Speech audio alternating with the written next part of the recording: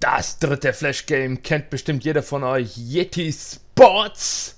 Bestimmt schon öfter mal gehört und gesehen auf YouTube oder im Internet, vielleicht auch mal selber gezockt. Und wir spielen jetzt Part 1 Penguin Throw. Also den Pinguin Weitwurf sozusagen. Und ich mache jetzt hier einfach mal Play. So, ihr seht da oben den Pinguin. Und den muss ich treffen. Jetzt muss ich einmal drücken. Und dann. Bam. Okay, das war nichts. Fail! Juhu! Bam. Hey, 300 Meter habe ich geschafft. Hey. Nee, nee.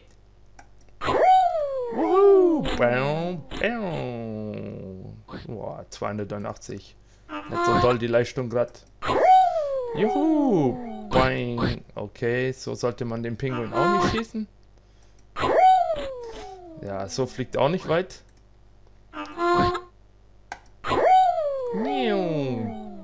Boing. Das war Fail, hey. Mach mal, komm, Fail, hey. Null Fail. Uh,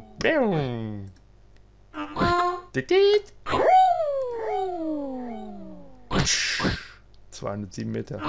Also so treffen bringt auch nichts. Ich dachte, der klatscht dann auf dem Boden, aber also an 296, ja, ich habe schon mal 300 irgendwas geschafft, glaube ich. Das ist die, die Höchstmarke, die man, irgendwas mit 300 oder so habe ich mal gesehen. Kann man schaffen, ne? Ich habe es zwar selber noch nicht geschafft, man muss den Pinguin halt nur richtig treffen, dass der auf dem Boden so einmal aufhüpft sozusagen, ja, und dann an die... Ja, komm! Ah! 298,3. Ah, nee, so, so wird's nichts. Boing. Okay, Fail! Derb gefailt und wieder ein Fail.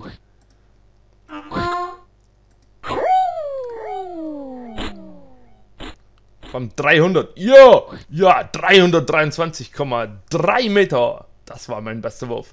Okay, machen wir noch einen Fail. Hier, ah nee, okay, das wird kein Fail, ey. Der wird gar nicht mal so schlecht. Komm, jetzt hier Fail, ey. Fail! Und das war's mit Teil 1. Wir sehen uns gleich wieder im nächsten Video. Bis gleich, euer Daniel the Dirty.